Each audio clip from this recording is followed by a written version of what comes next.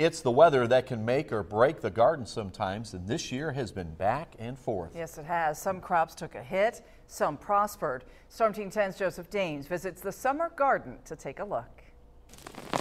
It changes from season to season. Been up and down. Some crops dig the weather and others find the dirt.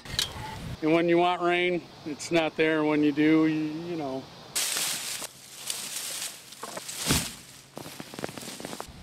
Emil Vichy has had luck this season, but others are questioning some of the crop. Trisha Weaver, garden expert, knows why. It was the weather. In the cool season crops were digging it, but the warm season crops weren't happy. Well, there's no question this bee definitely prospered, but the tomatoes? Well, the tomatoes are a different story. A lot of people are complaining about not getting tomatoes, but that's because they need a certain amount of heating degree days, and they were not getting them until mid-July. With the lack of heat, that has left some gardeners giving up, cutting those rotten tomatoes down and preparing for fall.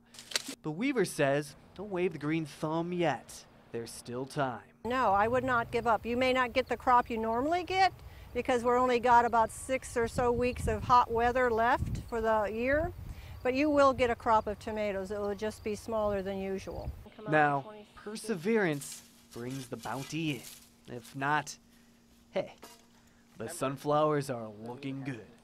In Terre Haute, Joseph Dames, Storm Team 10. Now, Weaver says every year is different and you just have to roll with the weather sometimes.